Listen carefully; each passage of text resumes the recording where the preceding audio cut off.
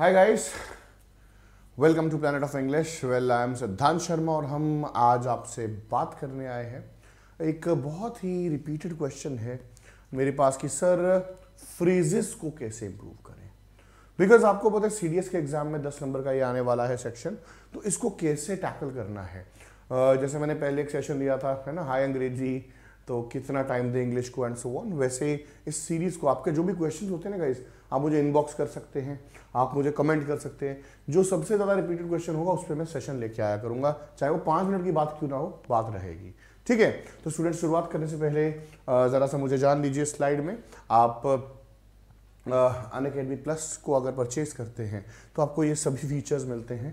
देश भर के टॉप एजुकेटर्स आपको पढ़ाएँगे लाइव पढ़ाएँगे exhaustive syllabus coverage regular doubt करेंगे everything that is required for a top notch preparation जो है आपको मिल जाएगा।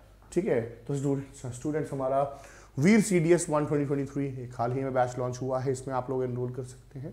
ठीक है? विशाल सर हैं, मैं हूँ संदीप सर हैं श्री प्रतीक सर हैं, प्रशांत जगता, प्रशांत जगताप सर हैं। तो सॉरी यार तो every one is at your service right तो इस बैच का लिंक जो है, मैं नीचे डिस्क्रिप्शन में डाल दूँगा, ठीक है? एंड इंग्लिश की क्लास अभी तक जो है स्टार्ट नहीं हुई है। ओके तो English hopefully in a week I'll start तो आप इसमें इनरोल कर सकते हैं, कोई पुराना बैच नहीं है। अब गाइज़ याद रखना 16 अप्रैल को आपका सीडीएस है। तो भाई यही है जो है, ठीक है? और इस बैच में आई टैकल एवरीथिंग इसके बाद क्रैश कोर्सेज हो या ना हो, भगवान जानता है प्रैक्टिस पे ज़्यादा फोकस करना है।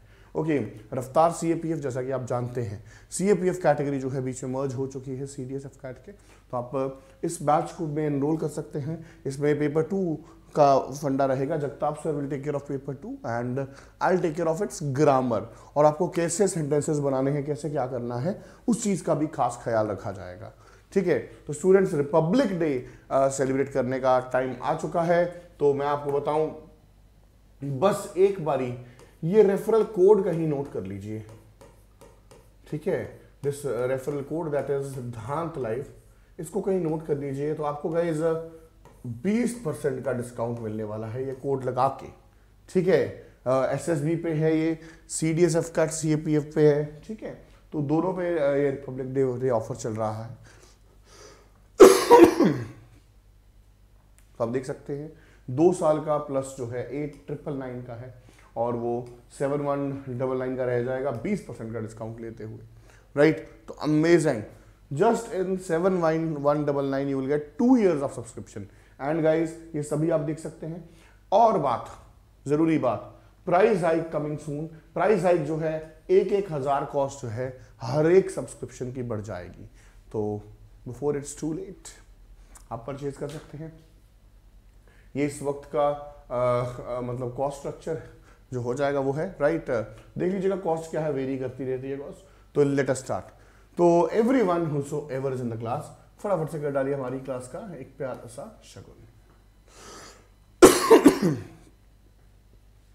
तो क्या ये सूखी ठंड फैली हुई है? जब तक बारिश बारिश नहीं आती तब तक ये ऐसे तंग करने वाली है।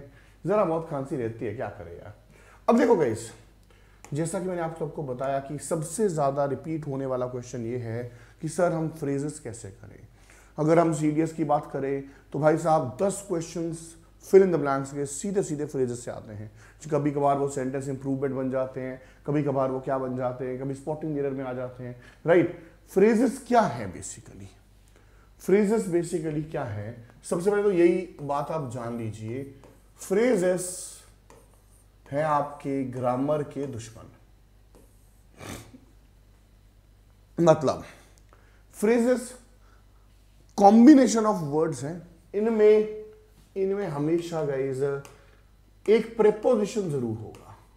प्रेपोजिशन इज़ द कल्प्रेट ठीक है? प्रेपोजिशन को जोड़ के जन्म लेता है। या तो ये ग्रामेटिकली सही होता है, या ये ग्रामेटिकली गलत होता है, लेकिन इसका एक यूनिक मीनिंग होता है। ठीक है? अब आप इसको कभी चैलेंज ही नहीं कर सकते। फ्रेजेस ये है। इसीलिए मैं इसको जो है, वो कैब का हिस्सा मानता हूँ। अब बच्चे कहते हैं कि, सर फ्रेजेस को टैकल कैसे करें? I mean what should we do कि हमारा फ्रेजेस जो है, वो थोड़ा अच्छा हो जाए? देखिए स्टूडेंट्स मैं इस चीज़ पे जरा फोकस करता हूँ, ठीक है? ख्याल रखिएगा इस चीज़ का। ज़्यादातर फ्रेजेस कैसे बनते हैं? Verb plus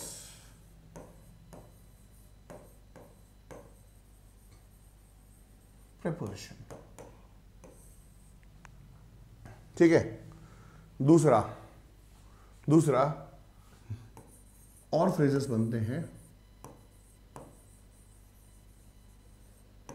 adjective plus preposition. ठीक है? फ्रेजेस करने के लिए, देखो सेल्फ डिपेंडेंट रहना है एक तो हमेशा। कि आपको, सर, इसका एक क्लास ले लो, सभी कवर कर दो, ये कर दो, वो कर दो। सेल्फ डिपेंडेंट कैसे रहना है? सबसे पहले आप क्या करो? पिछले पाँच से दस साल के पीवाई क्यूज को एनालाइज करो। उनका एनालिसिस करो कि किस तरह के फ्रेज आए हैं। याद रखना बच्चा लोग क्वेश्चन रिपीट नहीं होते हैं। कंसेप्ट रिपीट होते हैं। गेटिंग माई पॉइंट कि भाई साहब, जैसे, मैं बोलूँ फ्रेजेस को कैसे पढ़ना है? लेटर से the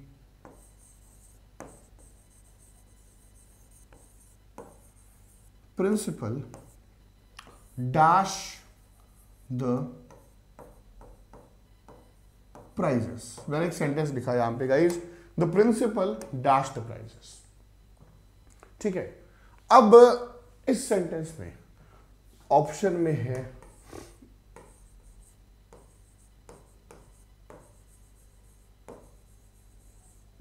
gave away keep away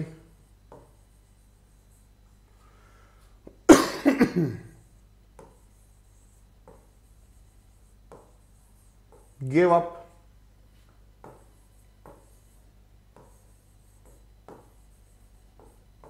Gave to तो स्टूडेंट्स क्या होता है? हम लोग ना अक्सर क्या करते हैं? मैं बताता हूँ। The where is the problem हम इस पे एक ब्लाइंड गेस मारेंगे ये ये लगा दिया ए ये लगा दिया बी ये लगा दिया सी ये लगा दिया डी और देखेंगे सही है कि गलत है? ओहो, ये होना चाहिए था। हम उसको वहीं पे छोड़ देते हैं। ठीक है? द प्रॉब्लम बिगिंस नाउ आपने उसको एनालाइज नहीं किया। आपने क्या नहीं किया उसको?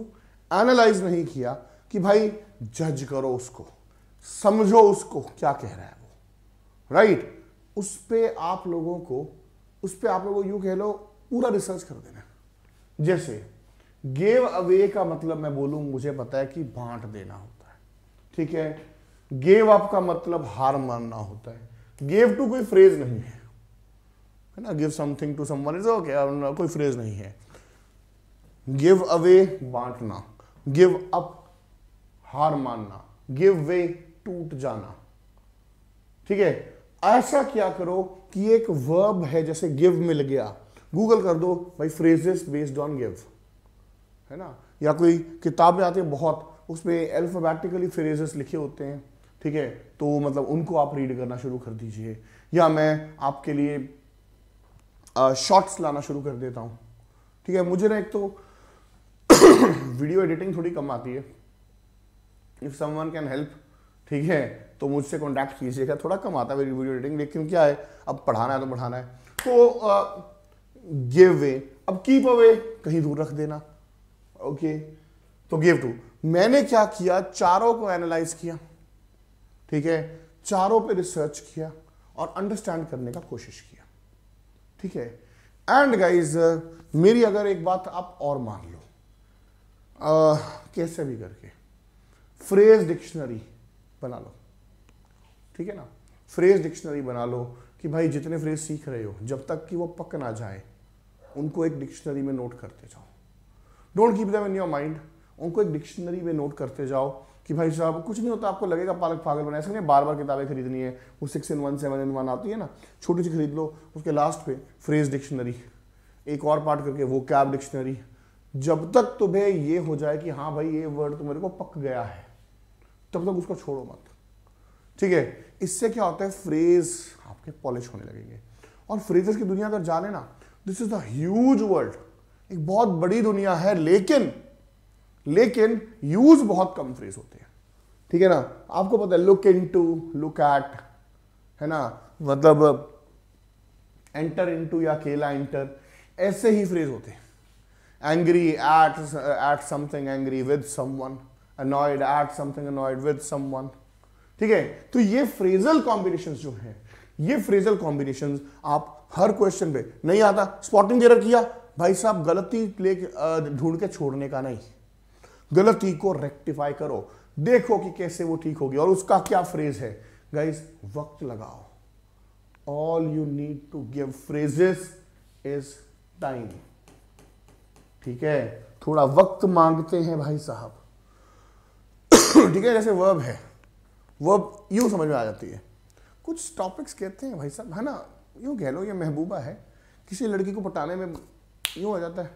किसी को टाइम लगता है भाई साहब। इफर्ट्स डालिए। इफर्ट्स दीजिए तो जवाब में डेफिनेटली आपको भी मतलब नंबर मिलेंगे। Trust me guys it works बताइएगा कैसे लगा? मेरा तरीका पढ़ने का।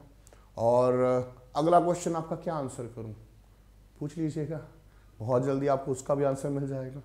तो क्या करना है? शेयर करना है गाइस चैनल को सब्सक्राइब करना है।